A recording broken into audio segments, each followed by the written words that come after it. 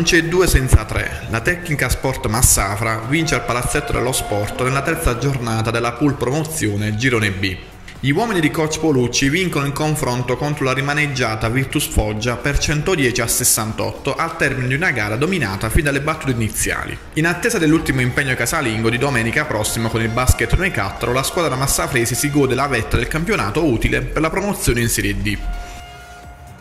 ai nostri microfoni i protagonisti delle due squadre. Siamo qui col coach tecnical Sport Massafra Andrea Polucci, terzo successo consecutivo in casa, decimo in casa su 11 partite regular season, ormai in casa una corazzata senza fine. Sì, c'è, di peggio diciamo, anche se la verità è che poi il 100% delle vittorie ce l'abbiamo fuori casa fino a questo momento, quindi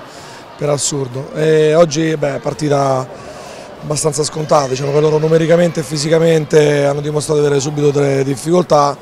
e l'abbiamo subito indirizzata nei, nei, nei, binari giusti per poter godere tranquillamente tutti quanti di un buon minutaggio e fare delle buone rotazioni. Sicuramente questa sarà una partita che sarà un banco di prova importante per l'ultima partita in casa con noi Cattaro, arriva in un momento in cui e soprattutto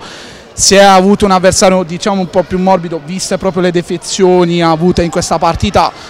a parte che sarà l'ultima finale da giocare in casa come me l'hai detto due settimane fa, però adesso questa partita quanto sposta in classifica perché alla fine sono 6 punti su 6 e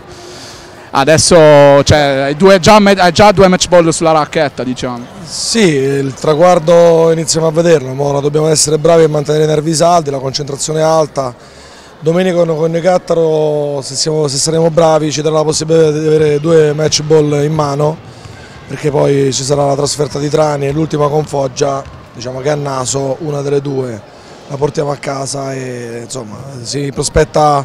un buon finale di stagione, però ripeto dipende sempre da noi, da come lavoriamo in settimana e da come arriviamo concentrati alle partite. Ultima domanda, ma giusto per chiudere, hai dato molto più spazio agli altri ragazzi in rotazione, si è visto tanto minutaggio per Addabbo, Moschetti,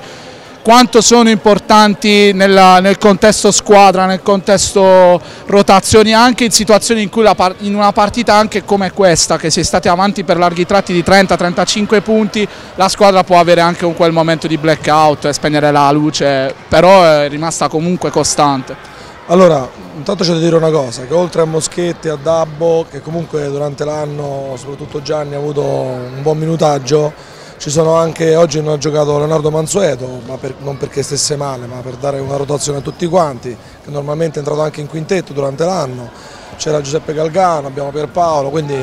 abbiamo avuto la fortuna con tutti questi ragazzi che hanno giocato magari un po' di meno rispetto agli altri, di poterci allenare sempre con continuità e, e serenità e questo qua secondo me è il segreto di ogni squadra quindi è giusto che anche loro abbiano il premio di poter essere protagonisti in campo, lo hanno fatto anche in partite complicate con Carovigno, con Taranto, non in partite magari dove il punteggio era così ampio. E poi c'è da fare una riflessione, oggi Foggia ci ha dimostrato con i loro ragazzi che se si lavora bene sul settore giovanile si può giocare, si può competere anche in categoria senior,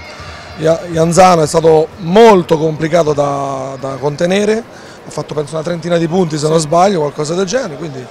voglio dire, è un momento anche di riflessione questo confronto con Foggia che ci deve indirizzare a lavorare bene anche sul settore giovanile per poterli inserire ancora di più sulla prima squadra. Post Technical Sport Massafra Virtus Foggia, siamo qui con il numero 9 della Virtus Foggia Francesco Ianzano, altra partita dove hai fatto la differenza però purtroppo le defezioni non hanno portato i due punti sperati. Cosa non è andato in questo match? No, mm, tutto sommato pur nonostante il ristretto numero di giocatori che prevedeva appunto la formazione, non abbiamo giocato malissimo, abbiamo improvvisato molto e comunque ci aspettavamo un risultato molto peggiore rispetto a questo. Anche se abbiamo comunque lottato fino alla fine, abbiamo cercato di segnare il più possibile. Beh, comunque dopo una buonissima prestazione che avevi fatto a noi Cattaro ti sei confermato comunque primo miglior realizzatore della, della, della, squadra nonostante la tua giovane età, se non sbaglio tu sei un giocatore under 16, giusto? Quindi cioè, insomma giocare in un campionato come la promozione e dimostrare a questi livelli anche contro una squadra come Massafra, come hai detto tu che ha giocato bene, insomma dimostrare il tuo valore, cioè quali sono le tue aspettative per il futuro? Te lo dico proprio sinceramente. No, io principalmente non ho aspettative perché mi concentro più sul lavorare ora